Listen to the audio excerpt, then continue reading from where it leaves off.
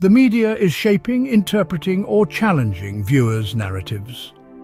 Media coverage not only molds the public's understanding of technology but also impacts its development and adoption, necessitating an investigation of AI's portrayal in general media, popular culture and science fiction films. An emphasis on embodiment, a tendency toward utopian or dystopian extremes, and a lack of diversity in creators, characters and types of AI are all common characteristics of recent popular AI stories.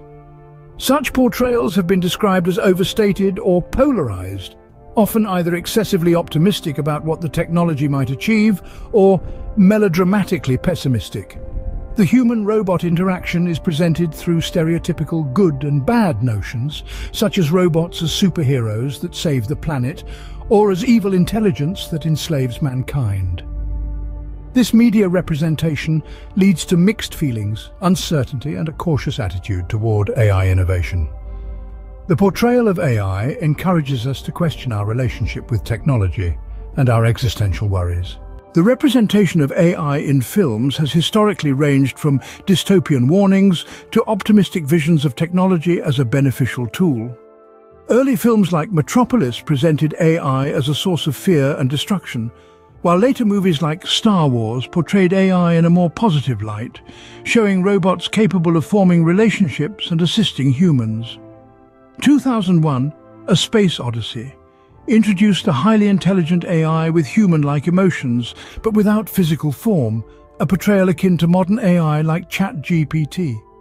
Films like Blade Runner and The Matrix posed existential questions about AI, challenging viewers to consider what it means to be human. Nietzsche's philosophy, particularly his concept of overcoming human limitations, is echoed in the portrayal of AI as a symbol of human aspiration. His famous quote, what does not kill me makes me stronger resonates with the narrative of AI as a challenge ethical dilemmas, societal impacts and existential questions that humanity must confront and adapt to.